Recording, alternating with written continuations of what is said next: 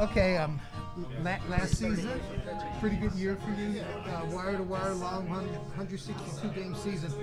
How did that feel at the end of it? Pretty good. You know, there's some ups and downs, and um, you know, it reminded me how tough pitching at this level can be. Uh, nothing's handed to you. So, I. But the thing was, I stayed healthy.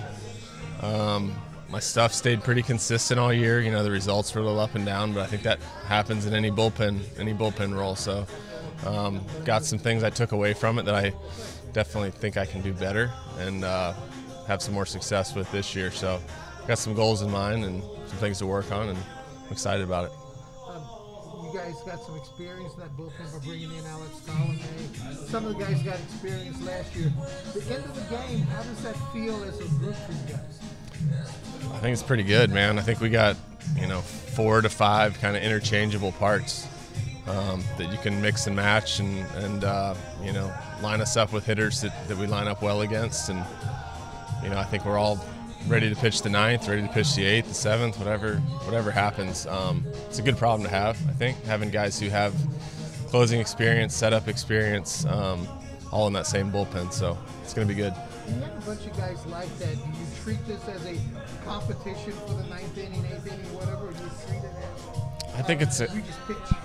You know, I view it as I don't want to say I'm ha- just happy to be here, but I want to be a part of a winner, and I want to pitch. My, I want to pitch well myself. And if everybody around me is pitching well in that bullpen, or you got two or three other guys that are really, really throwing the ball well, and that leaves me in the seventh or the eighth, or like, I'm, I'm happy with that. Um, I love the ninth inning. It was, it was a lot of fun to be able to do it the last couple years. Um, if that's the role, then I'm ready for that too. So.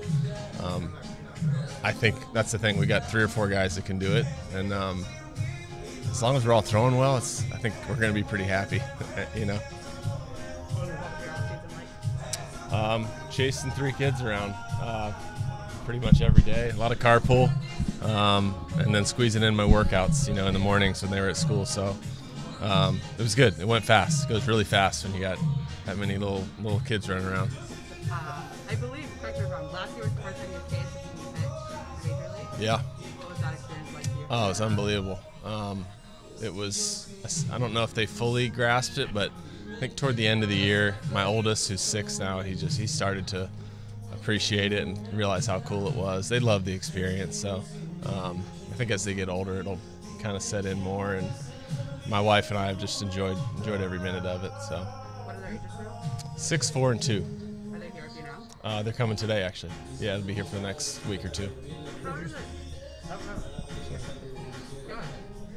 I just, how did it change for you last year, having, you know, being a dad now, having around compared to when you were younger in the Major League? It keeps things in perspective, you know. Um, I think when you're single or, or when I was married with no kids, it was like you come home and whatever happened in the game kind of sits with you for a while, or it can.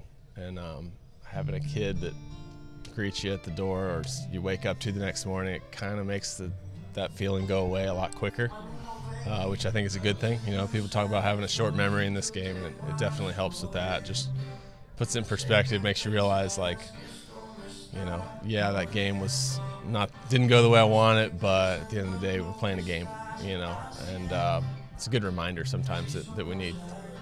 Does the six-year-old imitate you in the living room? Uh, imitate your motion? He tries. He, he's he, we're working on it. Yeah, he's he's um yeah he's he likes baseball. He likes it for like different reasons though. haven't got him like he's not he's not uh Shastine's kid that wants to take hundred swings a day. He's he's more like into the I don't know. He, he likes the whole experience. Like I don't know. So we'll see how uh, what what part of the game he gets drawn to this year. But it's fun to watch. One more for me, and I'll get out of. You guys had a really rough start to last season. The rest of it, overall, played a little bit better. I mean, you feel like you're you're that team that kind of finished the season, maybe just need to take a step forward. Yeah, I think there was some fluky, fluky kind of bad streak there at the beginning. Um, I don't think we were playing that poorly. The offense took a minute to get going. Um, but yeah, I think we're, we're, we're taking away from like, I don't remember the date. It was like in May or June that we really took off and we were like right in the mix with a lot of really good teams in this league. You know, I think we were over 500 from June 1st on or something like that. So, um, we're looking at ourselves like that's where we should form our our identity. Is like we have the ability to be that team for 162, and I mean you come in a few games over 500, you got a chance at a wild card right now. So that's I think that's what's on our minds is is competing for that and giving giving the uh, the three big boys at the top of the division, you know, a hard time all year. What did you see in that team? What did that team? What was that team? Um, starting pitching was super reliable. Um, you knew what you're going to get. You're going to get, you know, six innings of quality baseball and probably hand over a, a close game or a lead. Um, bullpen was we were pretty consistent there for I want to say June, July was really good. Um, you know, in the offense, just they put it together. They scored enough runs, and we got big hits when we needed them. We we we got uh, we did little things, moved guys over well, and we caught the baseball in the field. So it was like fun, all around fundamental baseball. And I think the starting pitching kind of led the way. Real quick, I think you know Jose Iglesias from Boston. Yeah. I love that guy. We, so we were in AAA in 2012 together, 10 years ago. I was on the way down, he was on the way up.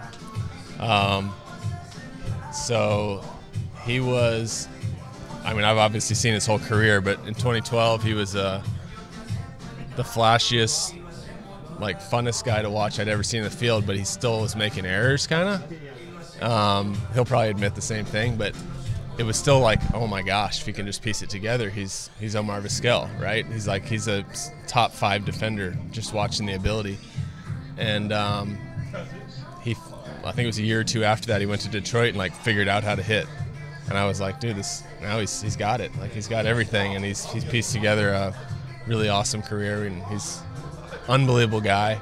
Uh, I've been impressed with him since the day I met him 10, 12 years ago. Um, so it was, it was good to reunite with him.